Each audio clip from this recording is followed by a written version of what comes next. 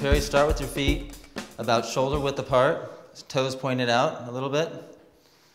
Okay, so you're going to initiate by digging your heels in the ground and almost like you're spreading the floor with your feet so you can get your, your glutes to activate. Can you feel that, Perry? Yeah, right here. Right, exactly. So now the first movement, you're going to push your arms out and push your hips back at the same time. Use your arms as a counterbalance. Pull yourself down, come up, squeeze your quads and glutes. Again, see how his chest is high, hips are going back, weights on the heels, he's pushing his knees out. Come up, good. Okay, there's two problems people usually do when they first do this exercise. The first one is initiating the movement with his knees. So Perry, let's go do it the wrong way. I know it's hard for you, but let's try. See how his knees, he initiated with his knees. So you can see all the pressure is going on his knees now. It's not going on his hips like you want and in, in the stronger glutes. Come up. Good. The second problem is people tend to round their spine as they come down. So go down, Perry. As they, your, your shoulders come forward and their back rounds. Come up.